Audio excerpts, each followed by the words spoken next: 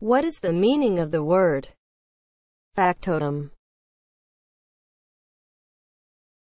As a noun, a servant employed to do a variety of jobs.